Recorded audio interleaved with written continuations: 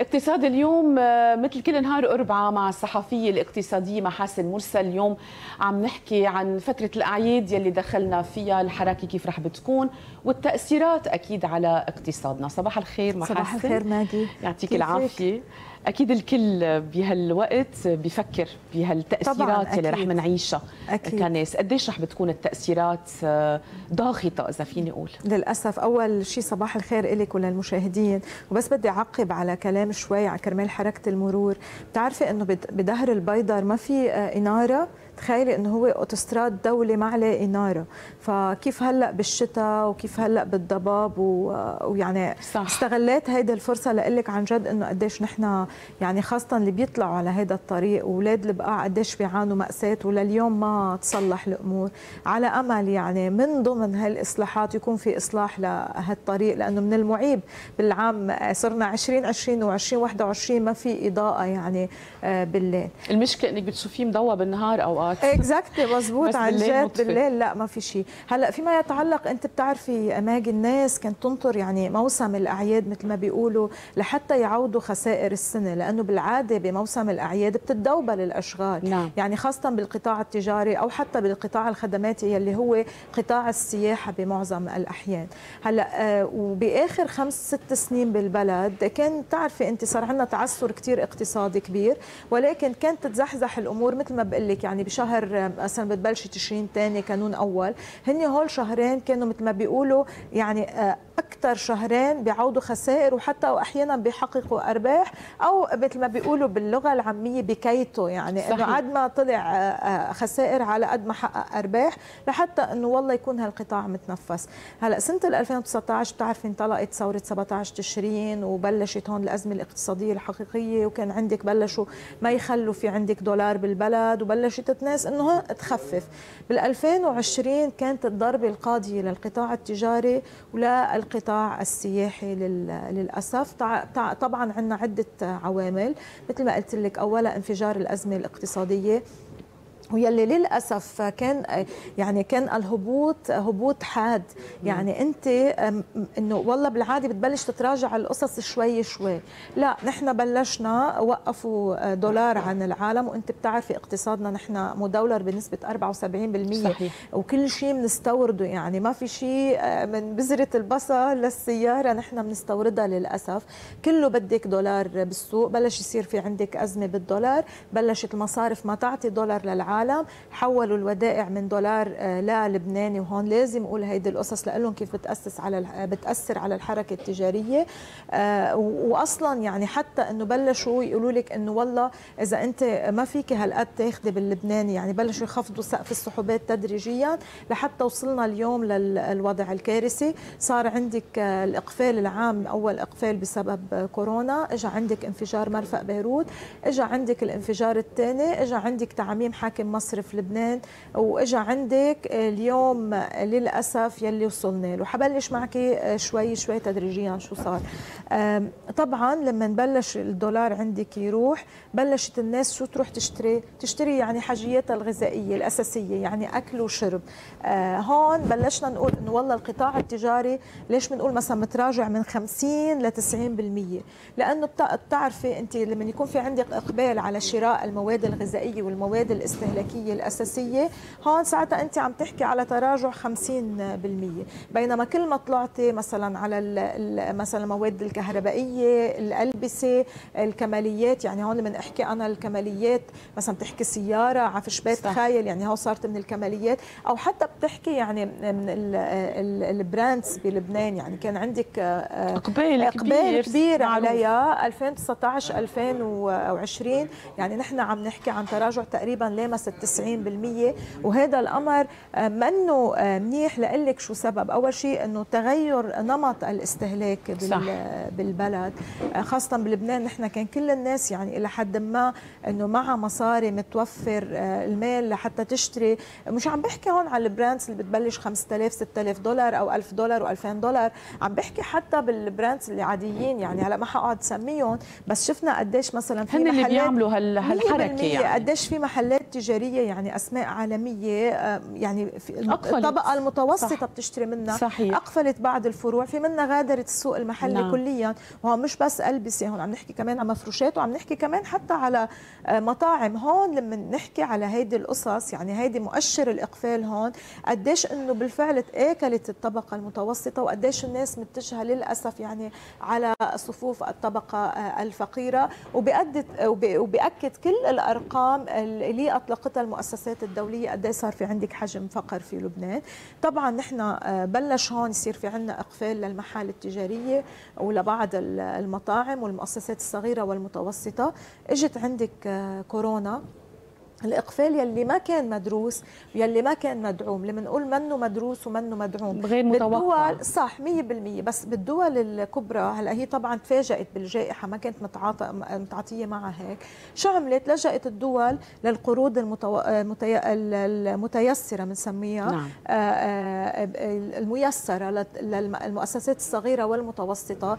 أيضا تدخلت يعني دعمت هي الأجور لحتى تحافظ يعني على القدرة الشرائية. الصحيه وتحد من البطالة آه، أيضا تدخلت بتعزيز شبكات الأمان الاجتماعي اللي نحن ابدا ما عندنا منها صحيح. بلبنان يعني ابدا يعني تفاعلت الدول بعكس ما صار عندنا 100% صح وتدخلت لأنه طبعا عندها يعني عندها الإمكانيات صحيح. اللازمة وأيضا يعني كمان بنلاحظ إنه صندوق النقد الدولي آه، وحتى حتى البنك الدولي منح بعض الدول قروض لمواجهه جائحة كورونا سواء لتعزيز القطاع الصحي وحتى أيضا يعني بعض القروض لدعم المؤسسات الصغيرة صحيح. والمتوسطة عادة هذا خطه الطوارئ اللي بتكون موجودة بكل دولة. صح 100% هذا كله بلبنان نحن ما كان عندنا منه ابدا. بالعكس كنا شفنا يعني آه، طلعت بعض الأصوات بتقول إنه لا طيب نحن بالقطاع الخاص لازم تدفعوا آه، لازم تدفع تدفعوا الأجور من تعويض نهاية الخدمة. يعني هون بدل قد إيه في ذكاء بالتعاطي نعم. يعني مع القصص آه، كان في غياب تام للدولة اللبنانية إلا ببرنامج يعني من من وزارة الشؤون الاجتماعية هو متعلق بإدارة الأزمة أو ما يعرف يعرف التكافل الاجتماعي وقت عطوا 200 ألف عائلة يعني إذا بنحكي 200 صحيح. ألف عائلة على خمس على خمس أفراد للعائلة يعني بتقولي مليون مواطن استفادوا من 400 ألف بالشهر على ست دفعات يلي هو ماشي. يعني إذا هلأ عم نحكي الدولار اليوم آه، ب 8000 8500 ليرة يعني ما بيطلعوا 50 آه، دولار يعني. صح. فتخيلي لوين شو بدك تعملي. هون المؤسسات اللي سكرت ما بقى قدرت فتحت بلشنا ب 25% إقفال للمؤسسات. يعني خاصة تجارية منا دائما مركز على هذه القصة وكمان أيضا المطاعم ويعني كل هيدي هيدا القطاعات هني أكثر اثنين تضرروا.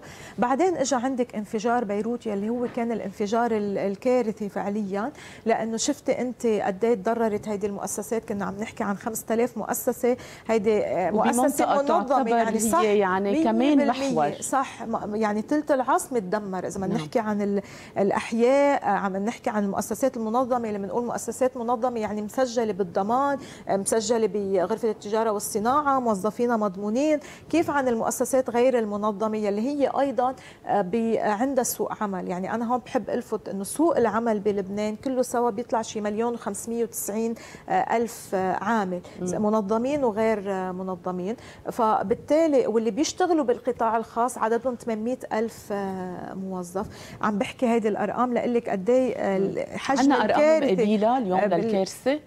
طبعا جيتك فيها. هلا تقريبا من بعد انفجار كورونا وانفجار بيروت زادت على الأزمة الاقتصادية آه، آخر السنة حيسكر 50% إقفال بالقطاع التجاري.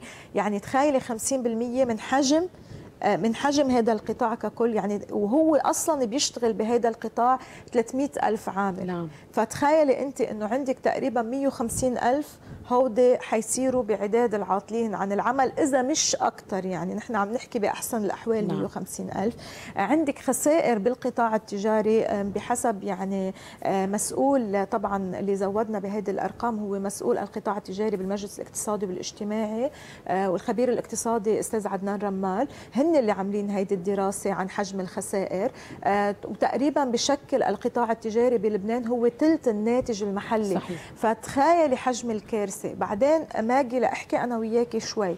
هن لما عملوا الإقفال ثاني إقفال خاصة بتلاقي إنه تقريبا ثلاث ارباع البلد ضل فاتح وسكروا المحل يعني محلات الألبسة ومحلات المواد الكهربائية يعني وطبعا مثلا المطاعم والفنادق. علما إنه أصلا بالأساس هن عندهم أزمة. فأنت لما جيتي كان الإقفال غير مدروس واصلا يعني إذا بدي أقول لك روحي أنت على محل تياب قد إيه بتشوفي زبونات حاليا؟ أو فوتي على شي مول بتلاقي الناس عم تتفرج بس ما حدا قليل ما تلاقي حدا عم يشتري.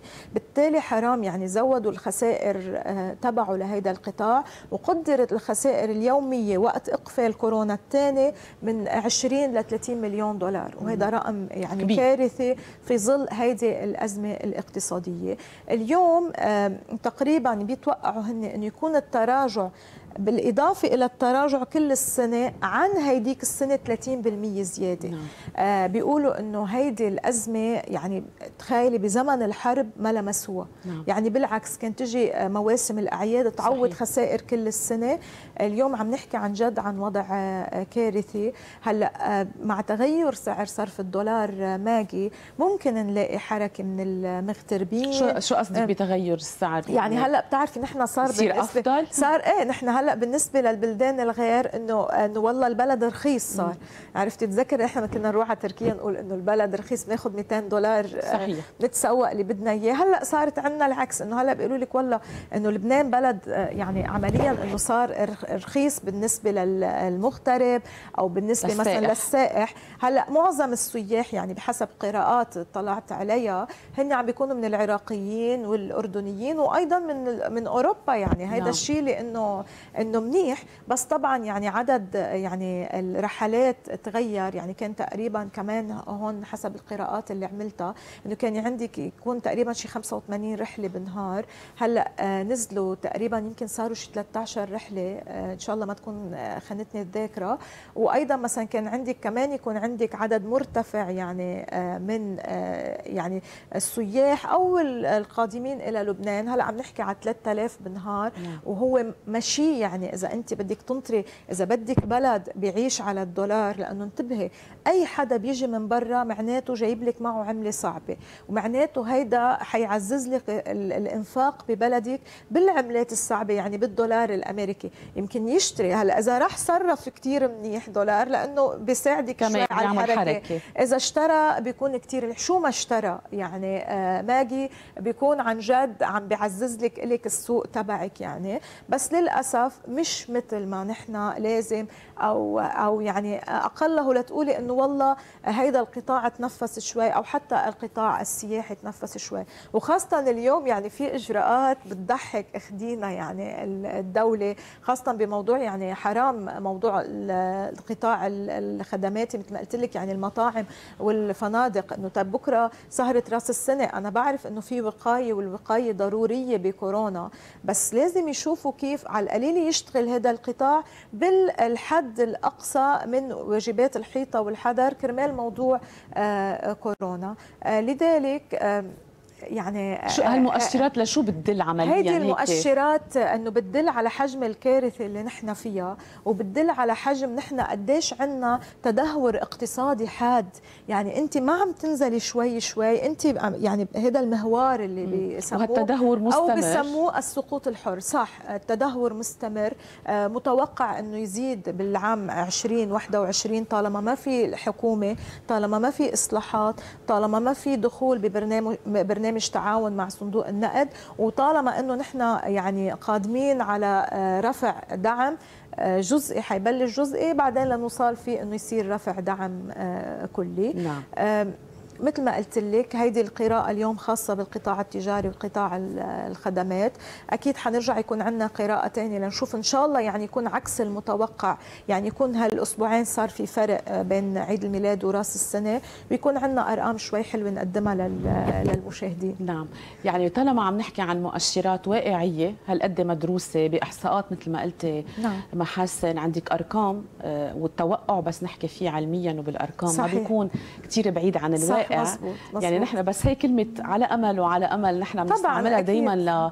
لنحسس حالنا إنه نحن ناطرين شيء حلو صحيح. يمكن شيء حلو هالشيء ننطره بس بس كمان لازم مثل واحد يكون ناطر ومتوقع شو نحن بدنا لوين بدنا نوصل صح وهالقطاع اللي عم تحكي عنه أكيد مش عم نحكي بس بفترة الأعياد يعني ما بعد الأعياد صح حيبدأ صح. فعلا هذا السقوط الحر اللي سميتيه صح. نحن فيه هلأ ونازلين. يعني نازلين. هو لأنه وبعدين آه، اللي ما له يعني أنت أوقات مثلا من صارت جائحة كورونا توقعوا إنه مثلا إنه ينزل الاقتصاد العالمي بيوصل لنقطة وبيرجع بيطلع.